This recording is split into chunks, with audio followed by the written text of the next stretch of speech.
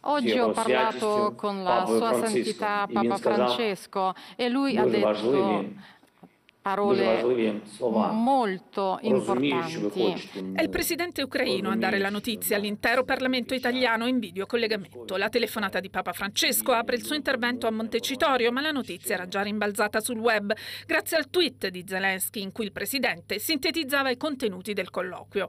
La difficile situazione umanitaria, il blocco dei corridoi da parte delle truppe russe, la fiducia nel ruolo di mediazione della Santa Sede per porre fine alla sofferenza del popolo ucraino e il grazie per la preghiera in favore della pace. Un nuovo segno del supporto all'Ucraina da parte di Papa Francesco, sottolineato anche dall'ambasciatore presso la Santa Sede, Andriy Jurash, che ha rinnovato l'invito al pontefice, già formulato nei giorni scorsi dal sindaco, a recarsi a Kiev. La sensazione è che i vertici del paese martoriato siano consapevoli che la Santa Sede stia facendo di tutto per porre fine a quello che anche questa mattina il segretario di Stato, il cardinale Pietro Parolin, ha definito uno scempio.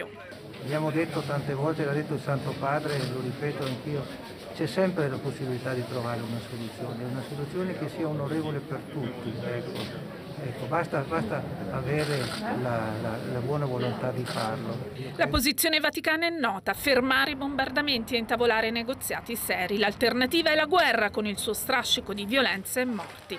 La Santa Sede è pronta a svolgere un ruolo di primo piano, ma tutte e due le parti devono volerlo. Intanto nell'account Pontifex l'appuntamento al 25 marzo, quando Francesco consacrerà Ucraina e Russia al cuore immacolato di Maria per ottenere il dono della pace.